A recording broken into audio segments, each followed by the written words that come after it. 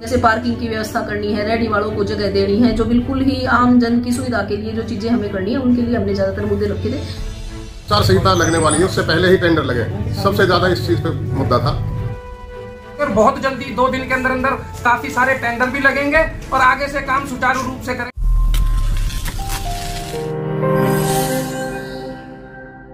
सोहना नगर परिषद back to back लगातार दो बैठकें नगर परिषद सभागार में आयोजित की गई, जिनमें से पहली बैठक साल 2024-25 के बजट को लेकर रखी गई व दूसरी बैठक परिषद में होने वाले विकास कार्यों को लेकर रखी गई। पहली बैठक के अंदर साल 2024-25 का आदमनी बजट व खर्च बजट रखा गया, जिसको सभी नगर पार्षदों ने सर्वसम्मति के साथ पास कर दिया। जबकि दूसरी बैठक में तेईस एजेंडा नगर परिषद के द्वारा रखे गए।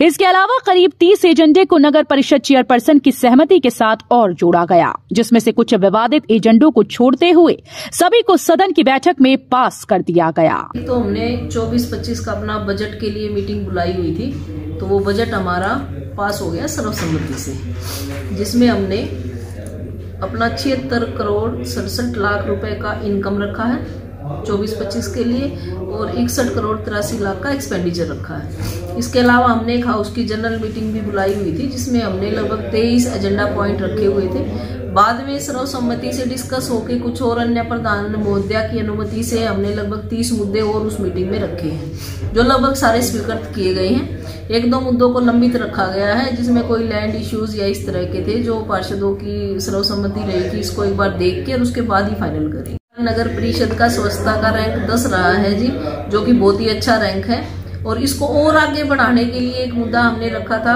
कि पार्षद गण का भी ये विचार था कि एक बार क्योंकि इंदौर ज़्यादातर फ़र्स्ट रैंक पे ही रहता है तो वहाँ क्या व्यवस्था है उसको देखने के लिए एक बार हम वहाँ पर भ्रमण करने के लिए जाएँ। तो वो मुद्दा रखा था जो सर्वसम्मति से पास भी हो गया है। मुख्य रूप से तो शहर में हमें जैसे पार्किंग की व्यवस्था करनी है रेडी वालों को जगह देनी है, जो बिल्कुल ही आम जन की सुविधा के लिए जो चीज़ें हमें करनी है, उनके लिए हमने ज़्यादातर मुद्दे रखे थे। जैसे सफ़ाई व्यवस्था के लिए भी हमने जेसीबी खरीदनी है। एक स्टे कैटल के लिए भी, क्योंकि हमारे पास कोई नंदीशाला नहीं है। तो उसकी जो नंदीशाला की व्यवस्था करनी थी, कैसे करनी है इस तरह के मुद्दे हमने रखे हैं, जो सर्वसम्मति से पास हुए हैं। आज जो दो मीटिंगें हुई हैं, उसमें पहले मीटिंग बजट की थी, जिसमें सभी ने सर्वसम्मति से पास किया। उसके बाद जो दूसरी मीटिंग है उसमें लगभग 45 से 50 मुद्दों के बीच में बात हुई है। उसमें चार पाँच मुद्दे ऐसे थे जिस पे ऑब्जेक्शन था, बाकी सारे के सारे पास कर दिए गए हैं। और सबसे ज़्यादा जो सभी पार्षदों की मांग थी, वो कामों के प्रति थी। वहाँ पे खूब शोर मचा।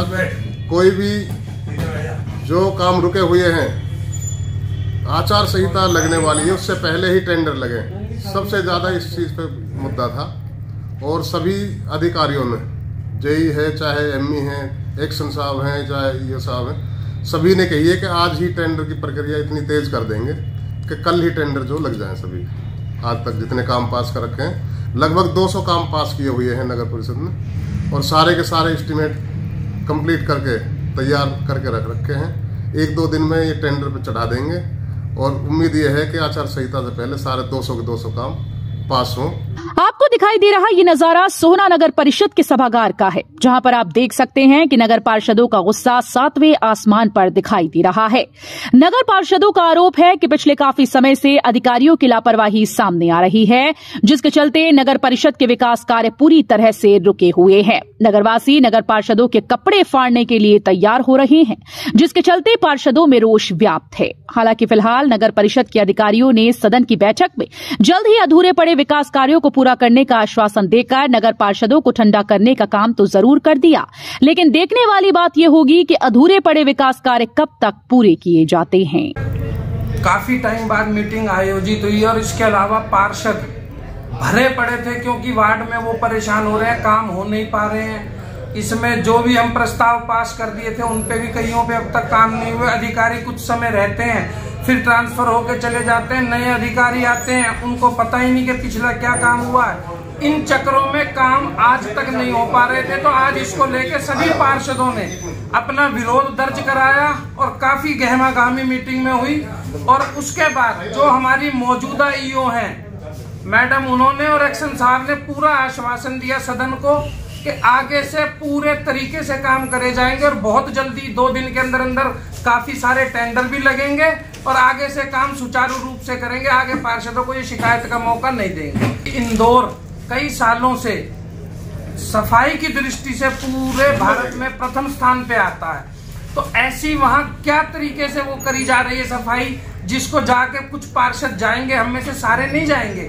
कुछ पार्षद जाएँगे जो वहाँ जाके भ्रमण करके इस चीज़ का मुआयना करके आएँगे और उन कार्यों को यहाँ क्रियान्वित करवा के हम ये चाहेंगे कि सफ़ाई व्यवस्था पटरी पर बता दें कि काफ़ी समय से सोना नगर परिषद के अधिकारियों की सीट पर स्थायी अधिकारी न बैठने से परिषद के विकास कार्यों पर ब्रेक लगा हुआ था। स्थायी अधिकारी न होने से काफ़ी समय से नगर परिषद सदन की बैठक भी नहीं बुलाई गई थी। न ही काफ़ी समय से सोना नगर परिषद के ठेकेदारों के बिल पास किए गए थे, जिसकी वजह से सोना के नगर पार्षदों में परिषद अधिकारियों के खिलाफ भारी रोष व्याप्त था, जिसके चलते बैठक की शुरुआत होते ही नगर पार्षदों ने जमकर परिषद के अधिकारियों को घेरा, जिसके बाद परिषद अधिकारियों ने जल्द ही अधूरे पड़े विकास कार्यों को पूरा करने व नए कार्यों के टेंडर लगाने का आदेश पार्षदों को दिया, जिसके बाद पार्षदों का गुस्सा शांत हुआ और सदन की कार्यवाही नियमित रूप से चलाई गई। लेकिन देखना इस बात का होगा कि नगर परिषद अधिकारियों की कथनी और करनी में कोई फ़र्क तो नहीं दिखता है। हरियाणा वरदान के लिए सोना से संवाददाता विशाल राघव की रिपोर्ट। देश व प्रदेश की खबरों को सबसे पहले देखने के लिए हरियाणा वरदान चैनल को सब्सक्राइब करें, लाइक करें व शेयर करें।